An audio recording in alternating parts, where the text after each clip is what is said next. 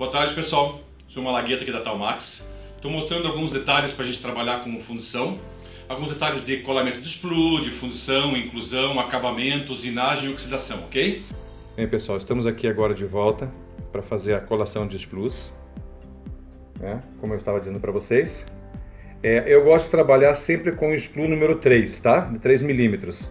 Principalmente para colar nas peças, né? nas partes incisais, com 45 graus onde fica mais fácil de inserção do material e que a gente tem maior facilidade e menos porosidade da peça, ok? Estão vendo aqui a colagem, como fica. E depois disso aqui, pessoal, a gente vai trabalhar com os quatro, com os quatro elementos unidos, com essa, com essa barrinha de 45 graus. E a partir disso aqui, nós vamos trabalhar com uma barrinha de, de 4, de 4 milímetros ou 5 milímetros para que a gente possa fazer a união desses spools de alimentação. E posteriormente isso aí, nós vamos trabalhar com o triângulo. É um triângulo de cera, onde a gente possa ter alimentação maior, mais tranquila e mais favorável ao metal, tá? E não esquecendo do seguinte, pessoal, quando vocês estão fazendo a colação do sprue, essa parte da barra ela tem que estar exatamente no centro térmico do anel. Porque se você estiver fora do centro térmico, automaticamente o seu trabalho vai estar no centro térmico e ele vai estar recebendo toda a, a, a temperatura não necessária. Olha lá, ó, tá vendo o centro térmico do anel? Vou passar para vocês, olha só lá. Ó. Então a barra está bem no meio do anel, onde vai ser o centro térmico. Agora daquela peça nós trabalhamos, vamos fazer a inclusão da peça certo? Utilizando um antibolha, de preferência spray. Sempre, pessoal, não importa o revestimento que vocês trabalham, nós estamos trabalhando aqui com o micro, o Microfine 1700. Sempre proporção correta, água, líquido.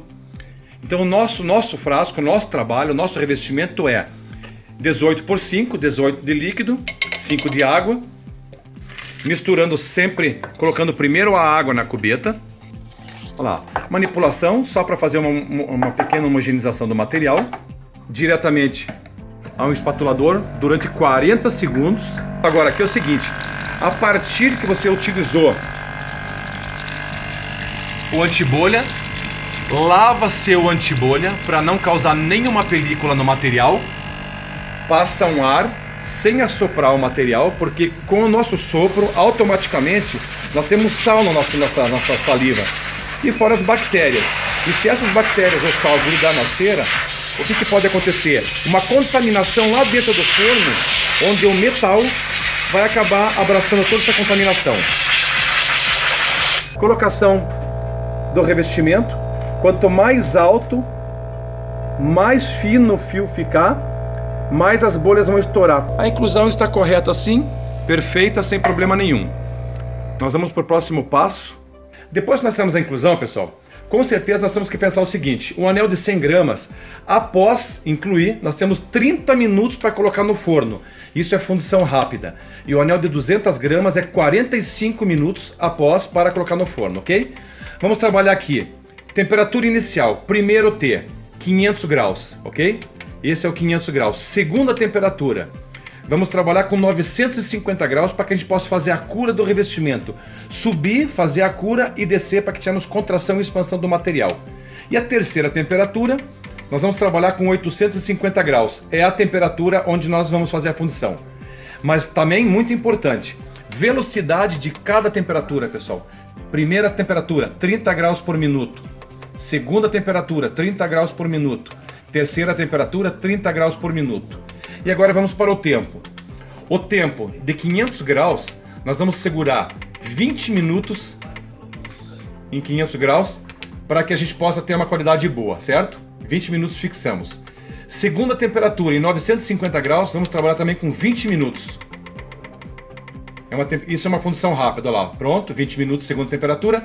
Terceira temperatura, zero. É onde chegou em 850 graus, nós vamos começar a fazer a, a fundição do material. Agora, vamos trabalhar com a fundição, ok? Oxigênio, 2 a 3 kg força, para que você não queime o material. E o gás, pessoal, nós vamos trabalhar mais ou menos a parte entre 1 e 1,5 kg força, certo? Vamos mostrar aqui como é que a maneira de trabalhar com o bico. Oxi é, gás. Puxa com oxigênio, limpou o material. Gás, oxigênio. Mais um pouco de gás e mais um pouco de oxigênio. Vai puxando até ele mudar um pouquinho o som. Vai puxando, vai puxando. Olha aí, ó, pronto. Esse é o momento correto, ok? Agora nós vamos trabalhar com o anel vindo do forno. Plataforma pronta. Sempre o fogo 5 centímetros docadinho. Aguardando o material entrar em quase estado líquido. Na hora que ela começar a arredondar as bordas, pessoal, arredondou as bordas, vai aproximar um pouco o, o, o, o maçarico queimou rápido, fez o giro, fechou a centrífuga e entrou em funcionamento. Após a função, então um jato de óxido, tá? Para que a gente possa fazer uma limpeza no material. É, normalmente um, um óxido pode trabalhar com 50 libras, é de 50 a 100 libras, com 25 micras mais ou menos, 250 micras cada, cada, cada, cada esfera, tá? Então, peça limpinha, vamos verificar como é que ficou material correto, tá aqui. A peça limpa, de afundição, prontinha, para que a gente possa fazer a usinagem e limpeza do material, ok? Estamos para o corte do material, os cortes flu.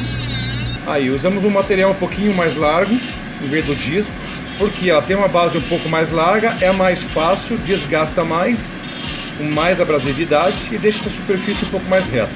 A pedra de tungstênio Faixa amarela e faixa vermelha. Pessoal, olha a qualidade que fica, uma superfície completamente lisa, ao mesmo tempo com micro retenções pro opaco.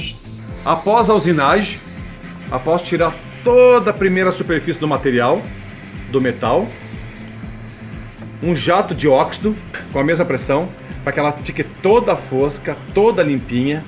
Esse é o primeiro passo. Segundo passo depois da usinagem, colocando ele no ultrassom com álcool isopropílico, certo? Dentro do álcool isopropílico, mergulhada. 3 minutos de ultrassom para que a gente tire todo o resíduo do óxido que a gente fez, tá? Após 3 minutos de ultrassom, o que, que nós vamos fazer? Pegar essa peça, não se toca mais essa peça com a mão, jamais.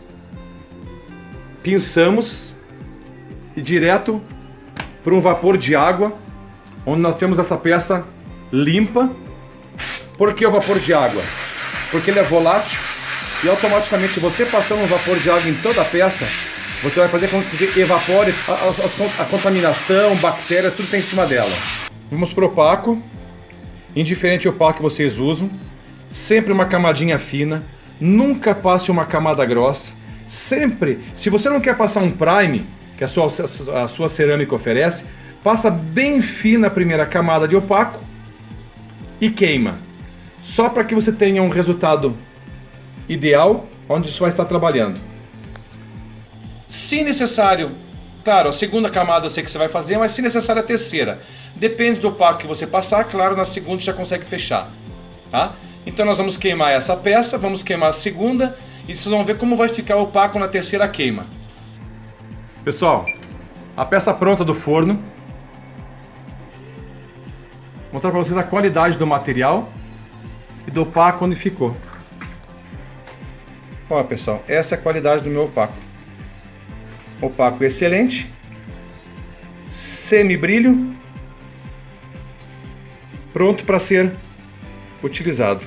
Vou colocar debaixo da luz aqui para que vocês possam dar uma olhada melhor. Olha só o que é a qualidade de opaco. Olha aí, ó. Certo? Então fica essa dica. Bem, pessoal, eu acho que o vídeo deve estar aí algumas explicações boas para vocês que conhecem de, de prótese. E se de repente qualquer dúvida, alguma coisa a respeito dessa, dessas informações, dessas imagens, desse filme, e desculpa também que, claro, é um filme meio amador, né? Mas é para que vocês possam entender. E qualquer dúvida, essas imagens eu vou colocar agora no meu, no minha, na minha página no YouTube, que é Malagueta FZ6, tá? E qualquer, qualquer dúvida, temos aqui, temos na Talmax, a gente pode conversar. E vamos lá, pessoal, vamos ao trabalho e eu acho que de repente pode ter ajudado alguma coisa, tá bom? Um abraço para todos, até mais.